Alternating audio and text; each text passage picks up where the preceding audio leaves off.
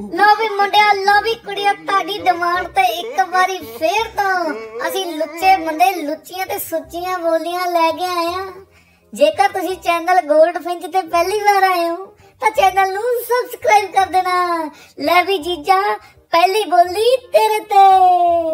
ਉਹ ਉੱਚੀਆਂ ਕਰਾਂ ਦੀਆਂ ਉੱਚੀਆਂ ਹਵੇਲੀਆਂ, ਮੈਂ ਤਾਂ ਪਵਾਲੀ ਠੰਡ ਵੇ।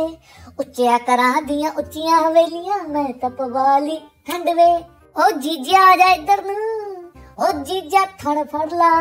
ਉਹ ਤੇਰੀ ਬੱਕਰੇ ਹੈ ਵਰਗੀ ਲੱਤ ਬੇ ਜੀਜਾ ਥਣ ਫੜ ਲਾ।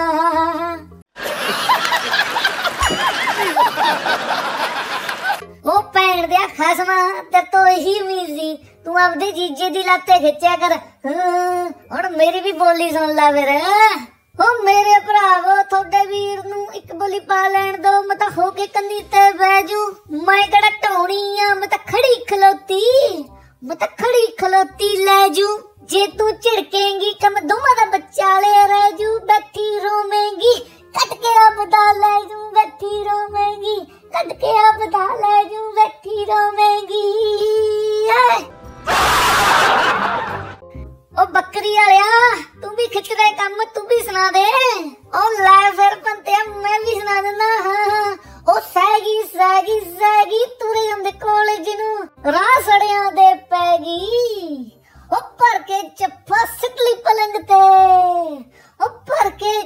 ਜੱਫਾ ਪਲੰਗ ਤੇ ਉਹ ਵੀ ਚੁੱਪ ਕਰਕੇ ਪੈ ਗਈ ਉਹ ਠੋਕੀ ਤੋਂ ਵਾਰੀ।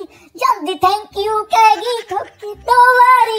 ਜਲਦੀ ਥੈਂਕ ਯੂ ਕਹੇਗੀ ਓਏ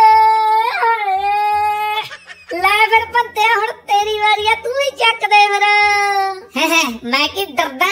ਮਾਤਾ ਬਾਦਲਾਂ ਦੇ ਟੱਬਰ ਦੀ ਸੁਣਾ ਦਿੰਦਾ। ਹਾਂ ਹਾਂ ਸੁਣ ਕੇ ਜਰਾ। ਉਹ ਛੋਟੀ ਛੋਟੀ ਛੋਟੀ, ਉਹ ਬਾਬੇ ਨੇ ਨੂੰ ਫੜ ਲਈ, ਫਿਰ ਹੋ ਗਈ ਗੱਲ ਕਲੋਟੀ। ਉਹ ਕਹਿੰਦੀ, ਛਿੱਤ ਛਿੱਤ ਕਰ ਬਾਬਾ, ਮੇਰੀ ਮੱਚ ਗਈ ਤਬੀਅਤ ਤੇ ਰੋਟੀ। ਕਹਿੰਦਾ, ਤੇਰੇ ਨਾਲ ਮੈਂ ਕਾਲਾ, ਮੇਰੀ ਪਸਮੀ ਮੱਝ ਖਲੋਤੀ। ਉਹ ਸਾਲਾ ਬਸਾਰ ਸਤੜਾ ਗਿਆ, ਮੋਰ ਤੜਾ ਗਈ ਬੋਤੀ। ਉਹ ਜਫੀਆਂ ਪਾਈਆਂ ਤੋਂ